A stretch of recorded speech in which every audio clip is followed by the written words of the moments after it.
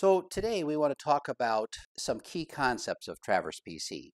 We called it Works Like You Think, Understanding TPC. We tell people the learning curve for Traverse PC is steep, but it's short. And you really need to get the concept of views, traverses, and quick view kind of nailed down in your brain. And then the light bulb goes on and Traverse PC makes sense. So we, we like to offer a seminar like this uh, a couple times a year mostly for people who are new to Traverse PC. Uh, so they can kind of get an idea of what are views, what are traverses, what are quick view. And I'm just going to focus on those three key concepts uh, today. Now, these same concepts are here in this how it works. So if I drop down in here, we're going to see here's traverses, the natural way to organize data. Here's views, the powers in the views. We include an extra one here about visible data, how you can see your data all the time. And then finally, a quick view. Your data does the drawing. We've always kind of tried to figure out how you explain this, but really it's, it's about starting right. And we say you go to a theater to watch a movie or stream it yourself to a screen. But that's not where the movie started. It started somewhere on a movie set with props, cameras, actors, then moved through production, editing, marketing, and distribution before it ever hits a screen. Well, as an LS, I know I don't start with my drawing. And that's really the problem with using CAD for land surveying. The drawing isn't where you start. What I start with is the research and all the data I pulled in. Then I move through decision making and editing and finally the drawing. And Traverse PC makes beautiful professional drawings, but it gets there through the technologies like Traverses, Quick View, and Views. So that's why we say it works like you think. And it's really understanding these three components traverses, views, and how the quick view interacts with them that really kind of opens the door to Traverse PC. So let's go ahead and jump in on our project today. And I'm going to go ahead and let's run Traverse PC. And I'm going to open up a sample survey called Learn Land XML. So you could open this file after the webinar and do this yourself. So Learn Land XML. And we're going to talk about views, traverses, and quick views as we import a subdivision from Civil 3D. I think it's a great little example. It's not too complicated. I think it'll help us kind of figure out how this works. So let's, uh, there's a blank survey. There's nothing in here. Let's go to File, Import. Let's tell it we want to do Land XML. And then go in and turn on some options. I want details. Uh, that looks good. Let's browse, and we include this sample XML file. And let's go ahead and import that. And here's the first thing I want you to notice, is that this is a file from Civil 3D. So in addition to having drawings for this project, I've also got 639 points. I've got 83 parcels. I've got six alignments. And I've got two surfaces, which also will have some points for those surfaces. So uh, it kind of speaks my language in points, parcels, alignments, and surfaces. And Traverse PC understands that uh, really well. So Traverse PC and Civil 3D talk nicely to each other because we're we all are talking about the same data. So I can select which of those I want to bring in, but I'm going to bring in everything and hit the OK button here. And Traverse PC is done now, and it tells me it brought in those points, parcels, alignments, and surfaces, and it's done. Now, I asked for details to be turned on. So we got everything it imported here in the message view. So I can take a look at, here are the points, and I've got point, description, coordinates for all those points. Now I see that they're storing the uh, point descriptors in the attributes. That's fine. Traverse PC is comfortable with attributes as well as descriptions. Once I'm done with the points, and there's what, 600 and some of those in here. I'm looking for the next section now. So now I've got parcels. So here's lot one and some basic information about it. There's six points in this area. Remember I had 83 parcels. After the parcels are the alignments, and I've got six of those. So First Avenue, Second Avenue, this is just whatever they called them in Civil 3D. Traverse PC doesn't really care. And then finally, I've got a couple of surfaces down here. So I've got existing ground of quarry and uh, looks like finished grade or final grade from 3D grid. So I've got points, parcels, alignments, and surfaces. Let's use this example then to talk about how we use Traverse PC to access this data. Let's start out with the points. So kind of keep that whole thing about points, parcels, alignments, surfaces in your in your brain. And uh, we'll talk about all four of those here. But let's start with the points. So I've opened up the point manager here, and this is the first view. So these managers are listed over here. If I come up to the top of the program, there's a difference between managers. Managers um, give me a collection of things, like a collection of points or traverses or drawings, versus the windows that show me one thing at a time, one drawing or one traverse. So the managers are listed over here in this uh, group of tabs, and I've just clicked on points here. So we can come in and see what Traverse PC does with these points. Now, all the points from this import show up here. So here are my 600 and some points right off the bat. I'll just slide this over a little bit. You can see that. And for each of those points, I got a description and an attribute. Remember we said they stored this in attributes, not descriptions, and Traverse PC is fine with that. And then after I get through those 800 and some points, now I've got the points related to the EG surface and the points related to the FG surface. Okay, so all of those show up in the point manager. And the point manager is everything to do with points. Now, all of these managers can be picked up and they can just kind of free float here. They can be dropped down to the bottom of the view if you'd rather see them down there. I oftentimes pick this up and move them over to another monitor so I have my full desktop to work with. But if I use this little control right here, we'll just dock them to the right. And then if I want, I can have those auto hide or I can bring them back up. And you'll kind of learn how all this works in Traverse PC and you'll kind of gravitate to whatever works the best for you. Let's talk about some things I want to do with points real quickly because I just come to the point manager, which is a view, and I manage the points. Let's sort by elevations. So there's my least to greatest.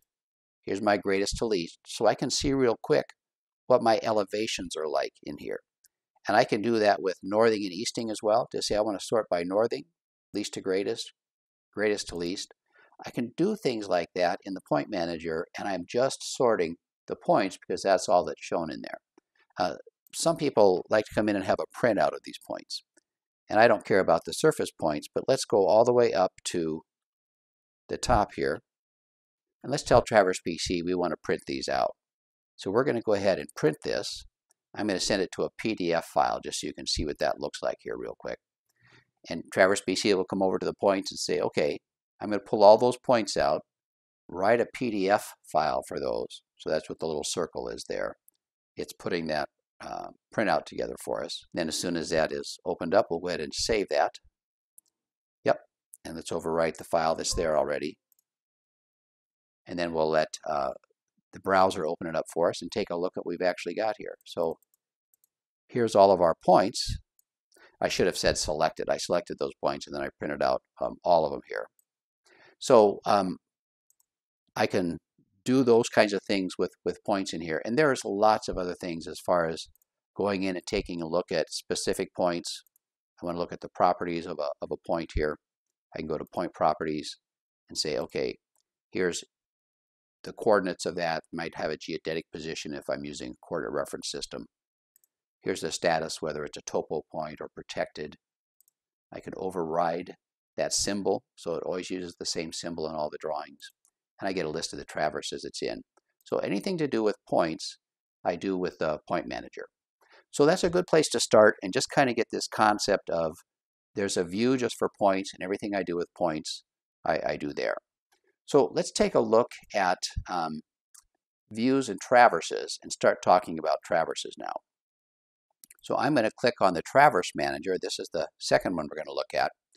And look how we've got alignments, parcels, and then down at the bottom are the surface points, surface traverses. Let's bring those up, surfaces. So I've got these traverse groups in here, and I want to start by looking at the traverses that Traverse PC created for the alignments that we brought in from Civil 3D. So I'm going to access those traverses, those alignments, from the Traverse Manager because alignments are traverses, kind of where Traverse PC gets its name. Now watch what I'm going to do. I'm going to click on alignments to select all of them, and then I'm going to click this box here to tag those. And when I zoom extents, here are all my alignments. So it's the tagging of those alignments that includes it in the drawing. And Traverse PC can have any number of drawings, and each drawing knows or remembers which traverses are tagged. So we just tag a traverse to include them. If I don't want to include them, I can unselect them, tag them to bring them back in, or I can say, I don't want to show all these. I just want to show the, the uh, Main Street one.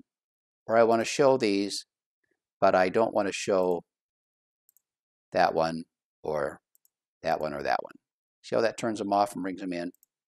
Or I just say, yeah, let's bring them all in again and tag those. So I work with traverses in the Traverse Manager, and just like I work with points in the Point Manager, I come to traverses to work with the Traverse Manager to work with the traverses.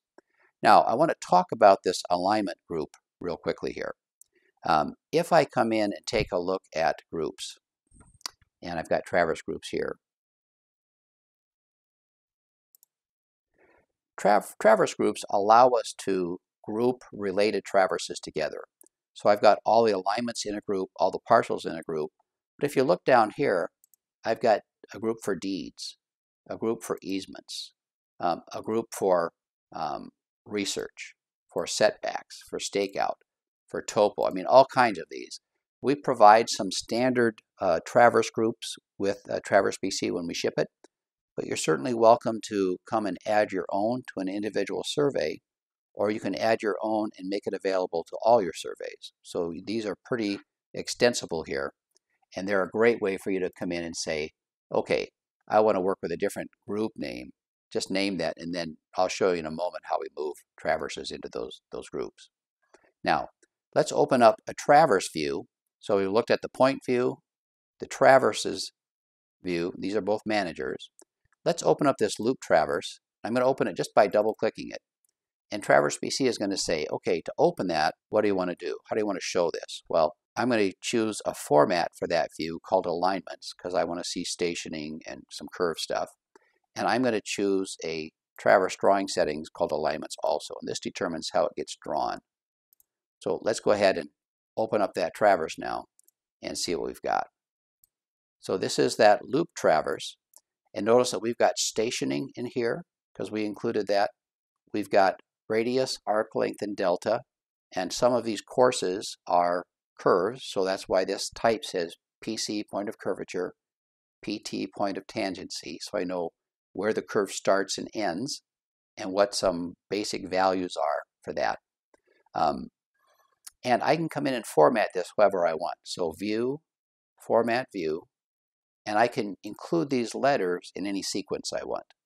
So if I want to show stationing first, I can just move the stationing character before the bearing and I can show stationing first. I can add other curve information, spiral information for spirals into this format to display whatever I want for that traverse. Now, I said real quickly that we had some curve information here. I'm just seeing radius, arc length, and the delta. The grid bearing and grid distance would be the long chord. So this would be the long chord bearing and distance. But watch, I'm going to highlight the PT and come up here to COGO horizontal curve. And look what I get. I get everything there is to know about that curve. So I can come in and tell Traverse PC to hold certain things. I can hold the position of the PC and the PT, and I can modify everything else. I so I can change the um, shape of this curve, the size of this curve, or I can just come in here and report it all. So this is a great way for me to come in and dive a little deeper when I need to, in addition to information shown in the Traverse view. Of course, I'm going to hit a summary button, and we're going to see that Traverse PC will just send all that curve information out to a report.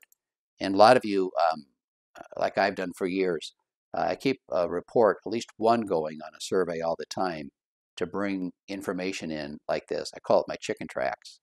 So I can know what I was looking at, what I was thinking about. And I can just come down and make some notes here real quick that, um, hey, I brought this curve in. Um, the uh, PC and PT uh, were gone in the field. Make some notes about it, okay? Pretty nice for me to be able to come in and, and just open that up real quick and uh, have a summary of that one curve. Or I can print this out just like I printed out those points earlier and I have all that information in a printout. Or I can also send that printout to the report. In fact, let, let's do that. So go to Tools, Print, uh, Pen to Report View. So we're going to take whatever format was in that traverse and the same report where I had the curve information a moment ago. Now I'm going to print out that traverse. So I've got the radius, arc length, delta, all that information, just like I had in the traverse view. But now I've got it in a report. Yeah, let's save the changes to that. Okay, so I want you to see how we can come in and um, open up that loop traverse in the traverse view, how we can come in and look at specific information like a horizontal curve. And then I'm going to introduce you to another view real quick, um, the vertical curve view. So this is a an alignment. So in addition to having horizontal alignment, that was that PC, PT, could be spirals, okay, and we saw that the curve information here. Traverse PC also stores vertical alignment for that traverse. And now I've got vertical points of intersection, the VPIs. I've got the vertical curve lengths in and out. They don't have to be equal. I've got my grades in and out. And then Traverse PC is going to create beginning of curve, end of curve for vertical curves, just like it does PCs and PTs for horizontal curves. And, and this is a good time to talk about the fact that I'm not always doing vertical alignments on everything. So I may not visit this vertical curve view for a long time. That's just fine. I know that view is there for me to manage vertical curves when I need to. But most of the time, I'm just going to spend my time right here in the traverse view. Okay, so we're talking about views and traverses now. Let's just recap real quick that we went to the point view to look at points. We went to the traverse view or traverse manager, we call those, to look at the traverses. We started by looking at the alignment traverses, and we just double click the loop to open it up in the traverse view and actually see the data uh, that was in that view. Okay, let's switch over to parcels then. Uh, right below the alignments is a group called parcels. And uh, remember I said in this land XML, we're going to talk about points, alignments, parcels, and surfaces. So we've talked about points and alignments. Now let's talk about parcels. Parcels are traverses also. Okay, so if I select all these parcels and tag one of them, now Traverse PC draws all the parcels in there for me. And I'm going to do something with groups here just real quick. I noticed that uh, when I was in it earlier, the last traverse in here is actually the property boundary for the whole thing. It's not a lot. So watch what I'm going to do with this. I'm going to select that property boundary. I'm going to go to Tools, Traverse Groups, Move Selected Items to Group. Okay, so I want to put this in a Boundaries group and OK that. So now I've got alignments, and I can collapse those because we've already looked at that. I put my property boundary, I don't even have to draw that, in a boundaries group. And now I've got the parcels to work with. Pretty neat, huh? And I've got 83 parcels in here, 82, 82 parcels in here, uh, the same that Civil 3D had. And they were parcels or lots in Civil 3D, they came in as parcels or lots in Traverse PC. And the great thing is it works the same way with GIS. Uh, a parcel in GIS comes in as a parcel or a lot in Traverse PC. So Traverse PC is as comfortable exchanging data with GIS as it is with Civil 3D because the data kind of works. It kind of everyone kind of knows what we're talking about uh, both places there. I'm going to give you a real quick sneak peek into to QuickView just because I want you to kind of see um, what the lot numbers are here. So I'm going to come back in and select these traverses. I'm going to right click any one of them and go to traverse drawing settings. And because I have all of these traverses selected, or more than one selected, Traverse PC says, what do you want to do? Well, I don't want to do setbacks. I just want to label the lots.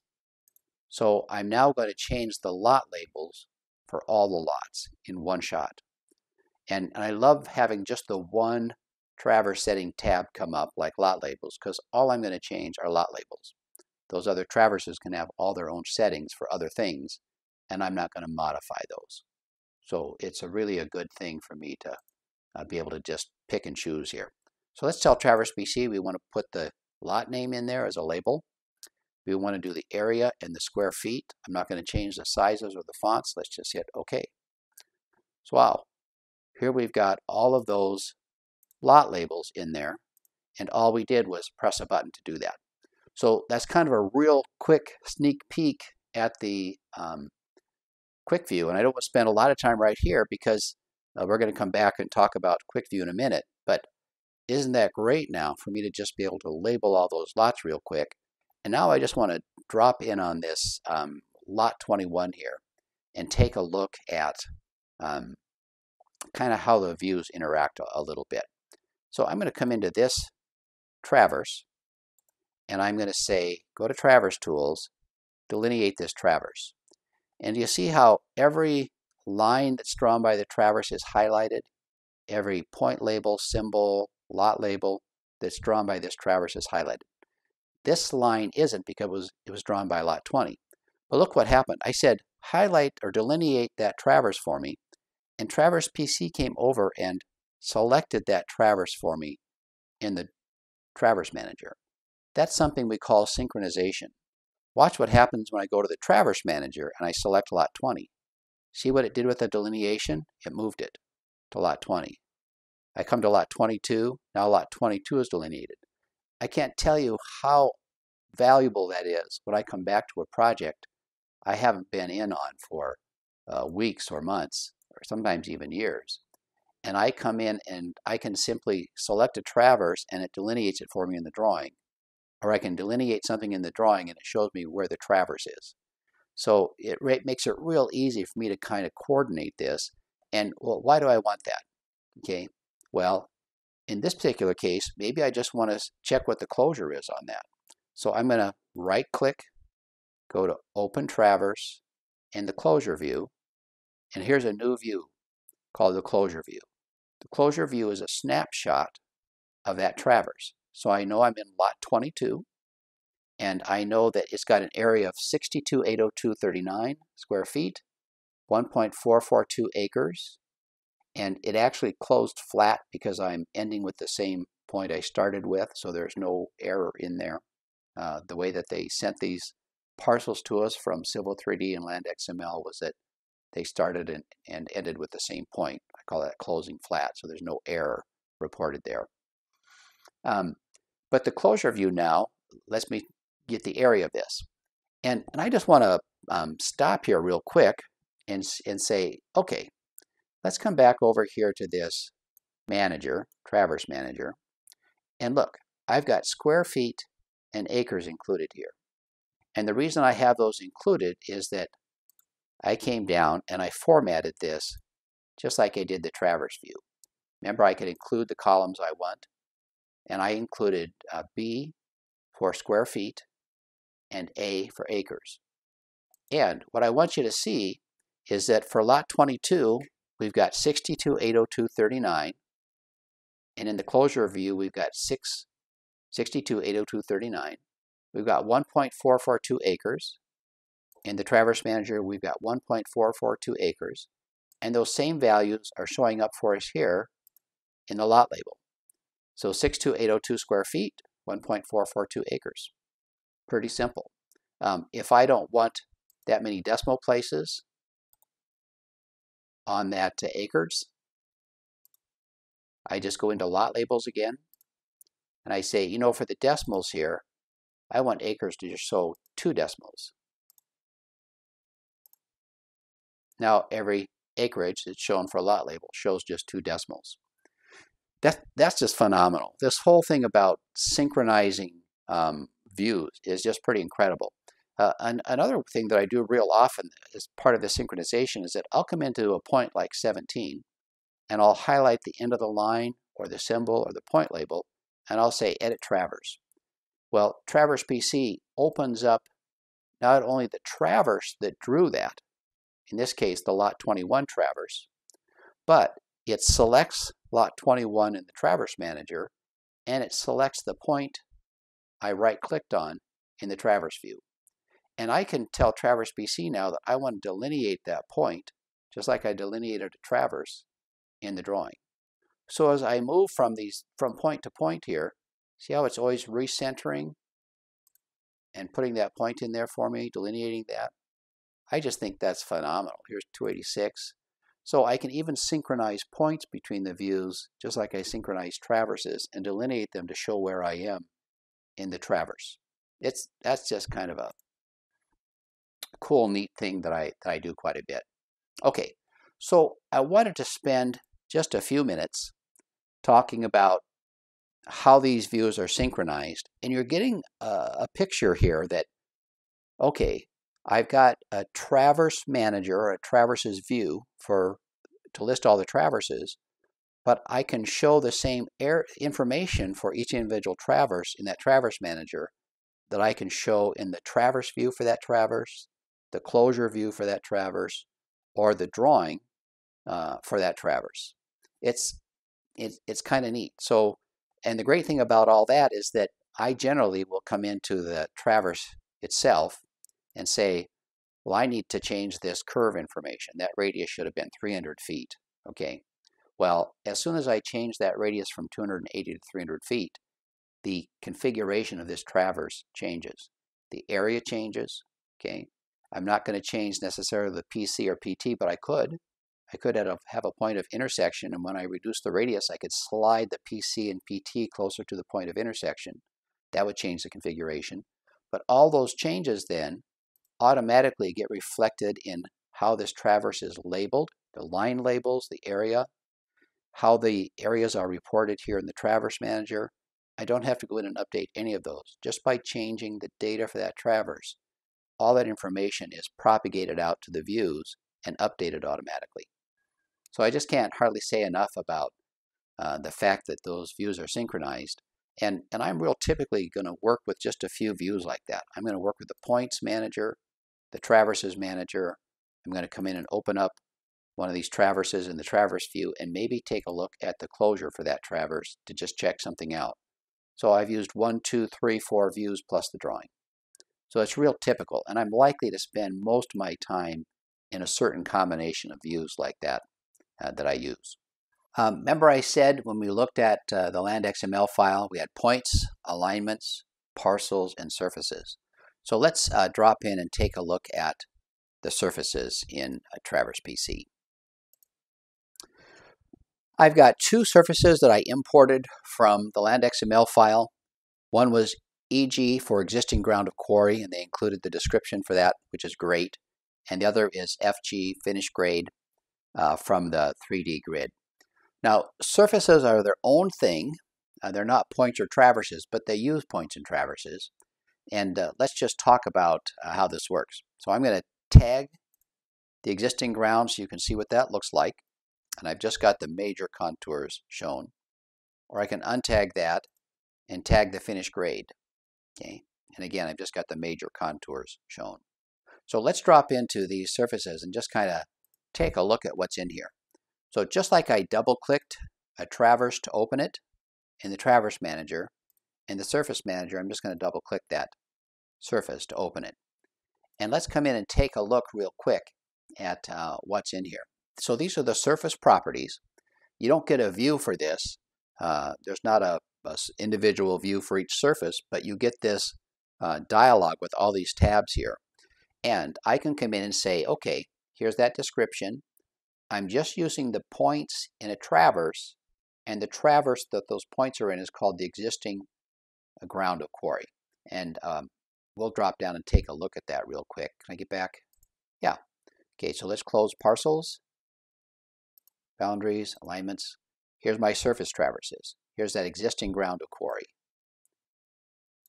So this is the, that's the traverse that Traverse PC is using to store the points for um, this surface. So this, the other surface is using this traverse, the points from the 3D grid traverse.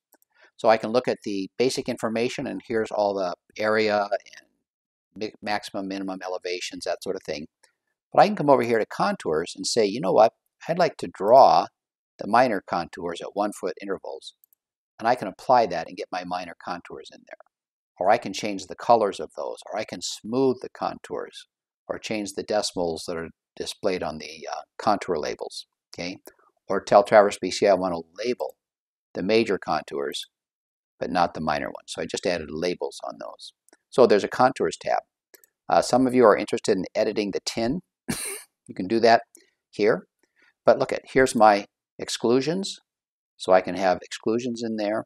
If I brought in break lines to do better modeling of the surface, I can do that. There's also volume. So I can tell Traverse PC to compute the volume and shade where the cuts and fills uh, are at. And that's great when I'm comparing this to another surface. I can now have my cuts or fills from the existing to the finished grade and all my volumes are computed for me.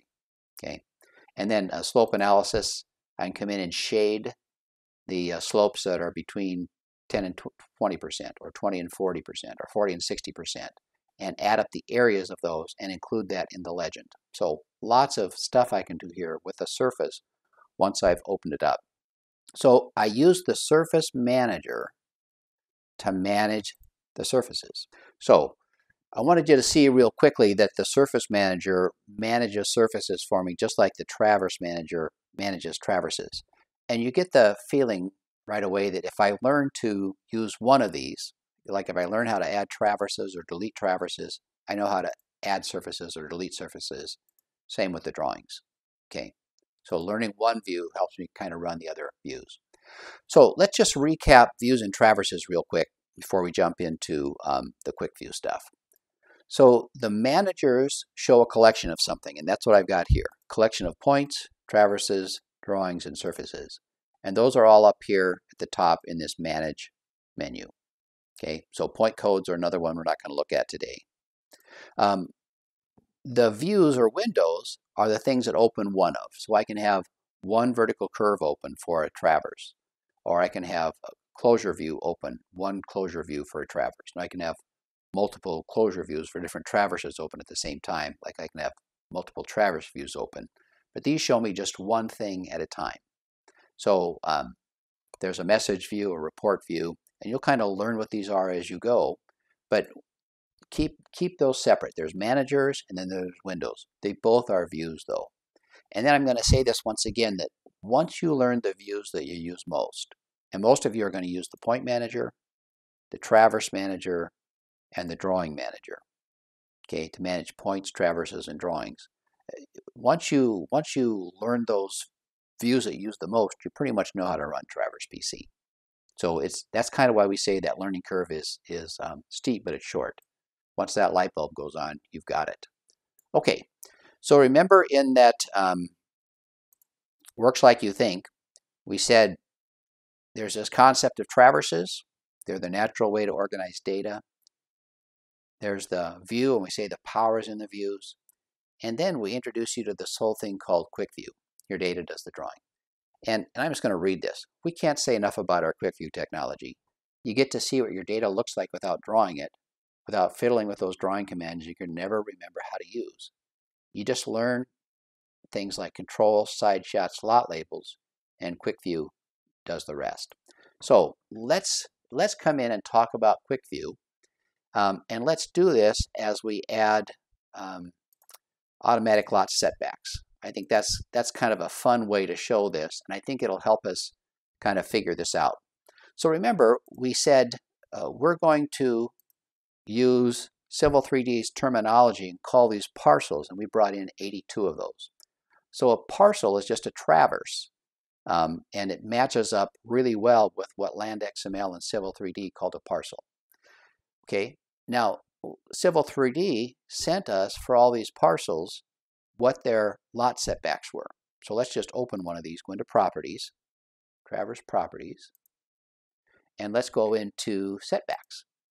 So from Civil 3D, we, we have this information. The setback from the front property line is 15 feet, and from both the side and rear property lines, it's 10 feet. So we see there are kind of two components to um, setbacks. One is the setback distance, and the other is knowing each property line, knowing whether it's a front setback, a side, or a rear. Okay, so let's go ahead and, and do this. Let's select these just like we turned on a lot labels. Okay, let's come in and go into Traverse drawing settings. But in this time, instead of labeling the lots, let's do the setbacks. And this is pretty simple. All I'm going to do is select a line type that I want. I like to do something like, like a dash 2. I select, select the thickness and the color, and I choose OK. There's all of my setbacks created for me. And I'm going to untag these alignments so we don't have to look at those as well. Yep, and boundaries untagged, so we're looking good there. Okay, so Traverse PC just came in and drew the setbacks for me. And we're going to stay focused in on this lot 21 a little bit. So you just saw quick view in action. The data does the drawing based on the traverse drawing settings. Remember, I came into these traverses and I said, right click, traverse drawing settings. So each traverse has settings that tell Traverse PC how to draw it. Line type, line thickness, color, point symbols, point labels, lot labels, and in this case, automatic setbacks. Um, it's important also to understand here that only traverses with a closure type of closed loop will have setbacks available. So in, in if you've got a traverse that isn't showing setbacks, you go to the closure view, and you saw how I opened that earlier, and you make sure that traverse is set to a closed loop, and then it will generate these setbacks for you automatically. Okay, so remember I said there were two parts, uh, setback distance, and then uh, knowing what kind of setback line type you have, front, side, rear. Let's start out taking a look at the setbacks. So I'm going to drop into one of these traverses. I'm going to go into traverse properties. Now because I don't have multiple traverses selected, it just takes me right in. So for this traverse, here's all the properties for this traverse. And one of these properties is a setback. So here's that 15, 10, and 10 that we got from Civil 3D. Um, it's great. You know, Civil 3D understands that in a subdivision, I've got uh, setback requirements, and so it carries that information in Civil 3D just like Traverse PC does. So we're just exchanging that information, and um, we got these setbacks from Civil 3D.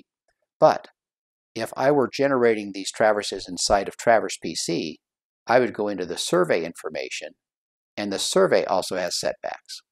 Now they happen to be set the same, uh, 15, 10, and, and 10. And I don't know if it got this from Civil 3D or if these were just the defaults, but I can save and recall settings for different jurisdictions, or I could reset these back to the default uh, values. And, and here's how Traverse PC uses these. Every time I create a new traverse, that traverse inherits these setbacks. Now, I can change them after the traverse is created, make them whatever I want, but having setbacks for the survey helps me be consistent. So all the traverses start with the same setback values. Now, um, it could be that's how Civil 3D does it too. I don't know. I think all of these lots have the same front, side, rear setbacks. And that's generally how I expect these to work. Okay, so how are the setbacks drawn. Let's take a look at that. Um, I'm going to select all the parcels again. And let's say traverse drawing settings. And we want to go to the setbacks. If I, I'm going to come back in here just a minute. I don't, don't want to go past that too fast. When I have multiple traverses selected, I certainly can come in and make the control points all the same for everything, so they all have the same line labels and symbols.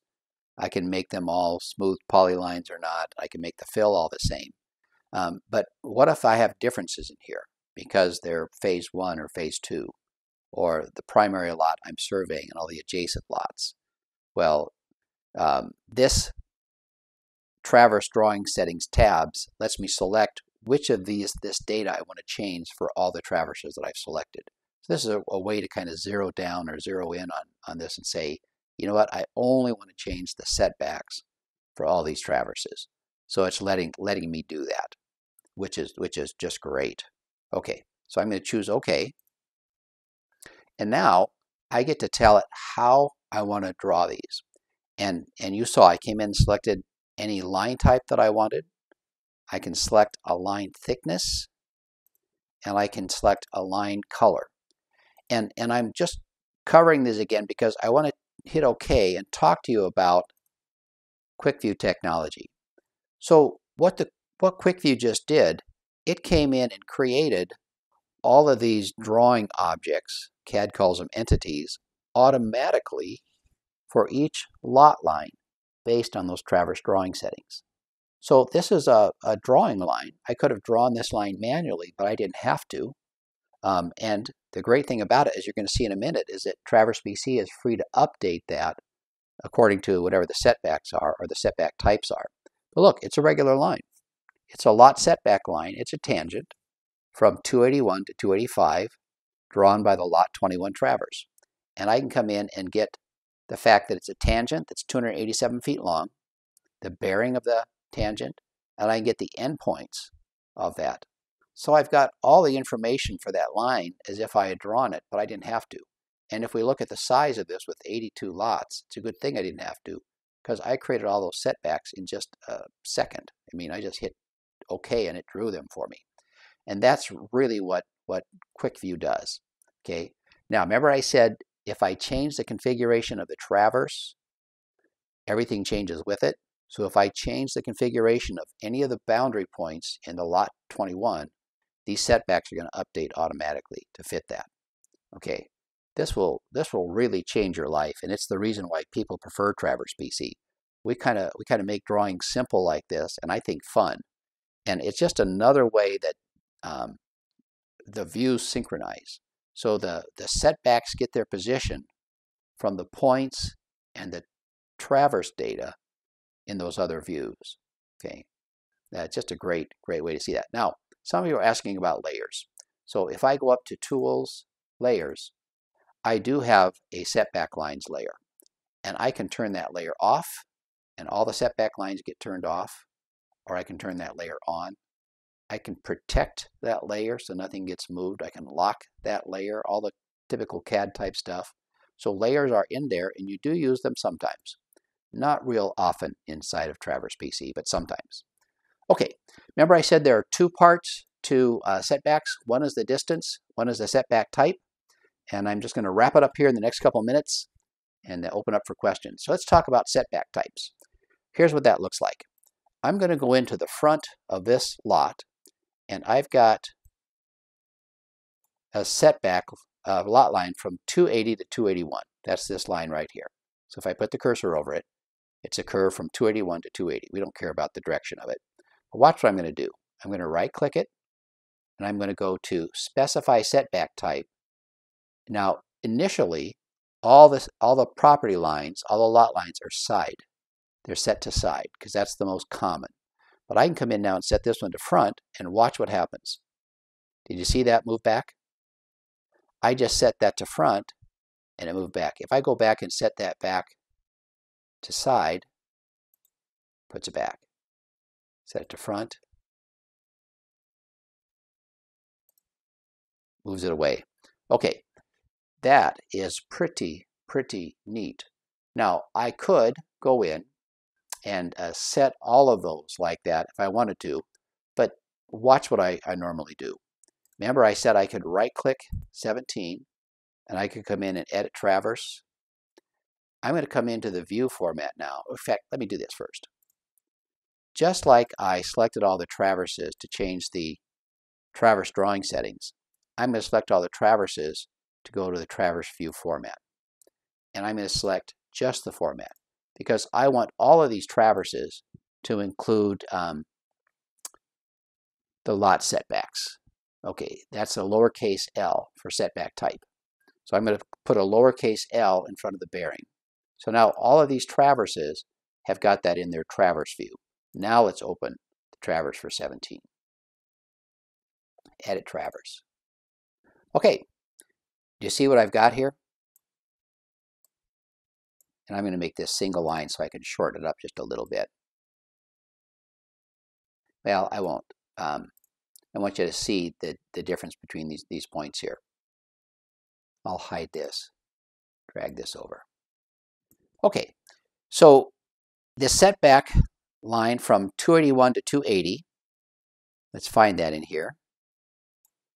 Here's 281 to 280. That's a front. Huh, interesting. So 17 to 285 is right here. If I look at the, the uh, status bar down here, it says F for front, S for side, R for rear. I can do R, make that a rear. 286 to 17 is the bottom one here, so I'm going to make that a rear. Okay, neat. Now I'm going to go into the properties for this traverse, and just for the fun of it, let's go to setbacks, and let's say the rear should be 5 feet. Okay, look what we just did. We just redrew that setback at 5 feet because that was the setback distance for rear lot lines. And we just told Traverse PC that 17 to 285 is a rear, 17 to 286 is a rear, and the front is 280 to 281. I could have done the same thing here with the front and said, okay, let's go into Traverse Properties and let's make that a 25 foot setback. Now we have a 25 foot setback. Okay, so I, I don't want to belabor this whole thing about automatic lot setbacks because that, that's not what this webinar is about. But I do want to just emphasize how these views all work together. Um, and again, lot 21 is highlighted because that's the lot I was working in. Kind of, kind of neat. And, and how the views and the traverses kind of come together in this quick view technology to really do all the drawing for me. I'm, I mean, I can still come in and move all these things around because they're just they're just drawing objects. So I can modify those or do whatever I want to after the fact, but I didn't have to create all of them and put them where they belong. Traverse PC did that for me because Quick View kind of brings together these traverses and views in a really, really powerful, powerful way. Just looking at my notes here. Let me wrap it up um, by saying this. What we did here today is very simple. We just imported a subdivision via LandXML and we put lot labels and setbacks on some parcels. Okay, that's that's really simple. And you know, simple stuff like this should be fun, and I think this is fun. I I really enjoy using Traverse PC like this, as opposed to opening a CAD program, which I did, you know, decades ago, and having to draw all this stuff, or drawing it and then not having data to back it up. So if I made changes, I it, it was just a lot of work. I mean, so much work. And CAD still is that way. Uh, Traverse PC says, no, you give me the data, tell me how you want to draw it, I'll draw it, and then you can modify it however you want. But I want to tell you that Traverse PC can certainly handle more complex workflows, but it does it the same way. It does, as, does it with Traverse's views and the quick view. And that's why we can we can make the promise that I made you earlier that once you learn the few views you use the most, you know Traverse PC. And I can translate what I learned to do in the Traverse view over to the drawing view or the surface view or the point codes manager or the you know any of those things. And it's kind of a transferable learning kind of thing that happens there.